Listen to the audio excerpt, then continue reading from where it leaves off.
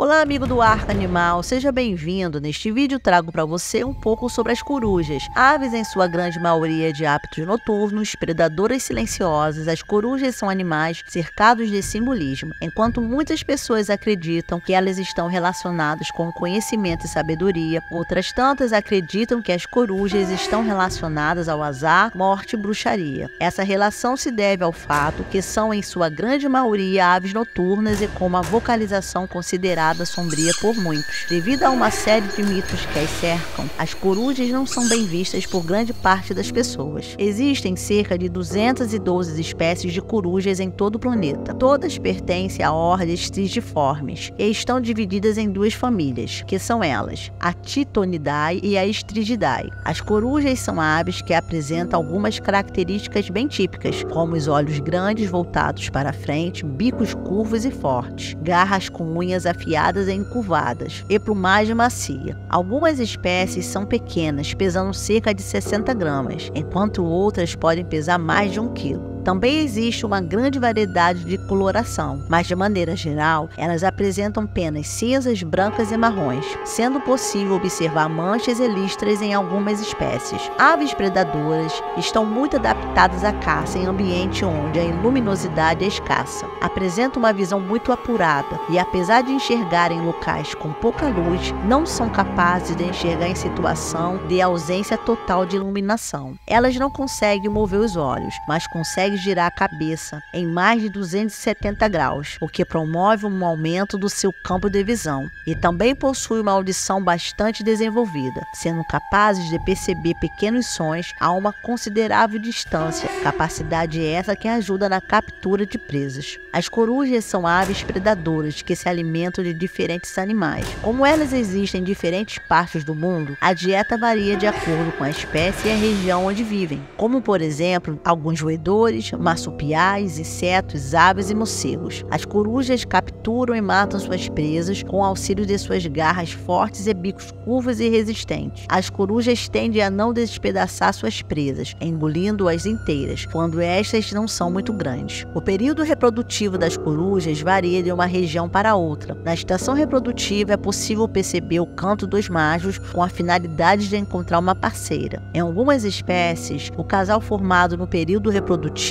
permanece junto por toda a vida. Outras espécies, no entanto, trocam de parceiro a cada ano. Machos tentam conquistar suas parceiras, oferecendo presas e também pelo território que ocupam. As corujas são animais que não constroem ninhos e nidificam. Por exemplo, em ninhos feitos por outros animais, em cavidades no solo ou em árvores, e em depressões no chão. As corujas botam de dois a três ovos, os quais são colocados em intervalos de poucos dias. O macho não os incuba, mas é responsável por alimentar a fêmea nesse período. Quando os filhotes nascem, inicialmente apenas a fêmea é responsável por cobri-los e alimentá-los. Posteriormente, o macho também participa do cuidado deles. Durante a época reprodutiva, machos e fêmeas defendem ativamente seu ninho. E esse foi o vídeo de hoje. Agradeço a você por ter ficado até aqui e peço. Se você gostou do que assistiu, não deixe de deixar o seu like. Muito obrigada e até o próximo vídeo.